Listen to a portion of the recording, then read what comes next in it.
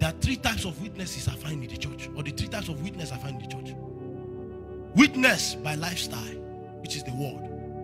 Witness by power, and then witness by death. Talking about martyrdom. These three witness must happen. You must witness by lifestyle. Your lifestyle must reflect the government that you represent. Then you must witness by power.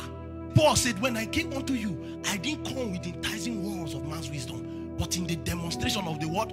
Power of the spirit.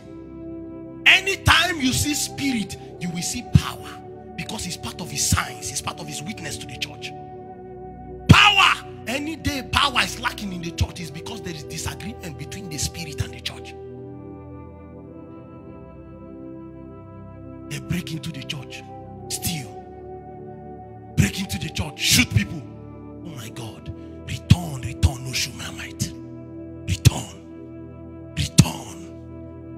Return, return, return. The power of the church has been lost.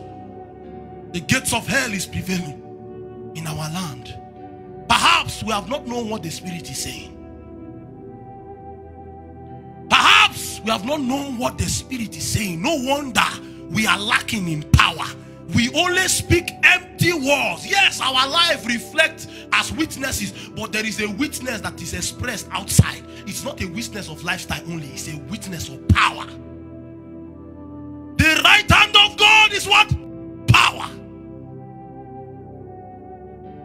Through power will your enemies submit. Will your enemies? Will your enemies submit? The church needs to return back to the place of power. Our authority is not a function of what we say, it's a function of what the Spirit is saying.